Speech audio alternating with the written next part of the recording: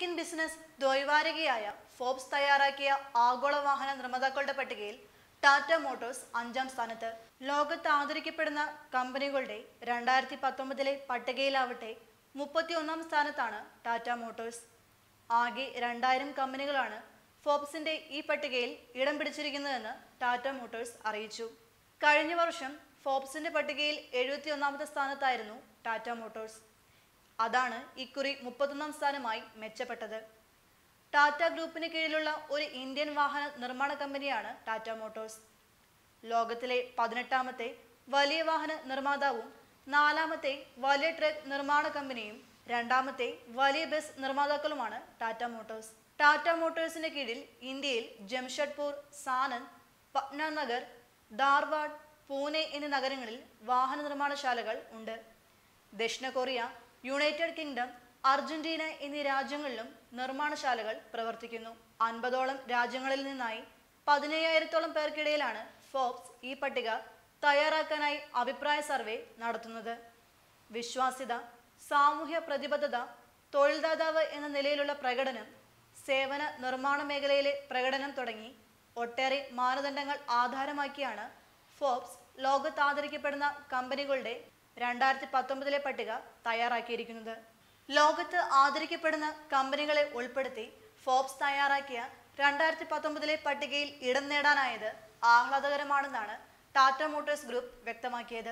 രണ്ടായിരത്തോളം കമ്പനികളിൽ ആദ്യ അൻപതെണ്ണത്തിനൊപ്പം ഇടം പിടിക്കാനായത് വൻ നേട്ടമാണ് രാജ്യാന്തര തലത്തിലെ വാഹന നിർമ്മാതാക്കൾക്കിടയിൽ അഞ്ചാം സ്ഥാനം സ്വന്തമാക്കാനായതാവട്ടെ ഉജ്ജ്വല നേട്ടമാണെന്നും ടാറ്റ മോട്ടോഴ്സ് ചീഫ് എക്സിക്യൂട്ടീവ് ഓഫീസറും മാനേജിംഗ് ഡയറക്ടറുമായ ഗോണ്ടർ ബഡ്ഷേഖ് വിലയിരുത്തി. ടാറ്റ ഗ്രൂപ്പിന്റെ മൂല്യങ്ങൾ ഉയർത്തിപ്പിടിച്ചു തന്നെ മികച്ച പ്രകടനം കാഴ്ചവയ്ക്കാൻ ടാറ്റ മോട്ടോഴ്സ് നടത്തുന്ന ശ്രമങ്ങൾക്കുള്ള അംഗീകാരമാണിതെന്നും അദ്ദേഹം അഭിപ്രായപ്പെട്ടു. ടാറ്റ ഗ്രൂപ്പിൽപ്പെട്ട ടാറ്റ കൺസൾട്ടൻസി സർവീസും ടാറ്റ സ്റ്റീലും ഫോബ്സിന്റെ പട്ടികയിൽ ഇടം നേടിയിട്ടുണ്ട്. ടാറ്റ ഗ്രൂപ്പ് സംരംഭങ്ങൾക്ക് പുറമെ ഇന്ത്യയിൽ നിന്നുള്ള പതിനാറ് കമ്പനികൾ കൂടി ഫോബ്സ് പുറത്തുവിട്ട പട്ടികയിൽ ഉൾപ്പെടുന്നുണ്ട്. ലോക്കോമോട്ടീവ് നിർമ്മാതാവെന്ന നിലയിൽ ആയിരത്തി തൊള്ളായിരത്തി നാൽപ്പത്തിയഞ്ചിലാണ് ടാറ്റ മോട്ടോഴ്സ് സ്ഥാപിതമായത്. ജർമ്മനിയിലെ ഡൈംലർ ബെൻസുമായി സംയുക്ത സംരംഭം ആരംഭിച്ചതിനു ശേഷം ആയിരത്തി തൊള്ളായിരത്തി അമ്പത്തിനാലിൽ ടാറ്റ ഗ്രൂപ്പ് വാണിജ്യവാഹന മേഖലയിൽ പ്രവേശിച്ചു. ഇന്ത്യയിലെ വാണിജ്യവാഹന വിപണിയിൽ വർഷങ്ങളോളം ആധിപത്യം പുലർത്തിയ ടാറ്റ മോട്ടോഴ്സ് ആയിരത്തി തൊള്ളായിരത്തി തൊണ്ണൂറ്റി ഒന്നിൽ ടാറ്റ മൊബൈൽ പ്ലാറ്റ്ഫോമിൽ അധിഷ്ഠിതമായ സ്പോർട്സ് യൂട്ടിലിറ്റി വാഹനമായ ടാറ്റ സീറ പുറത്തിറക്കി പാസഞ്ചർ വാഹന വിപണിയിൽ പ്രവേശിച്ചു. പിന്നീട് ടാറ്റ സുമോ ടാറ്റ സഫാരി എന്നിവ പുറത്തിറക്കി. പൂർണമായും തദ്ദേശീയരായ ആദ്യത്തെ ഇന്ത്യൻ പാസഞ്ചർ കാറായ ടാറ്റ ആയിരത്തി തൊള്ളായിരത്തി തൊണ്ണൂറ്റി എട്ടിൽ ഇൻഡിക്ക അവതരിപ്പിച്ചു.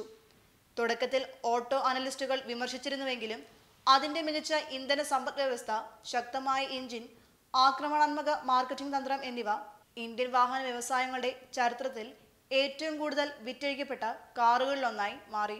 ടാറ്റ മോട്ടോഴ്സിന്റെ വളർച്ചയിൽ ഇൻഡിക്കയുടെ വിജയം പ്രധാന പങ്ക് വഹിച്ചിട്ടുണ്ട് അന്വേഷണത്തിന് വേണ്ടി Catherine Tresa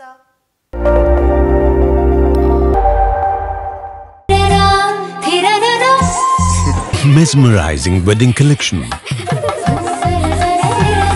Tejaswini by Chungat Jewelry.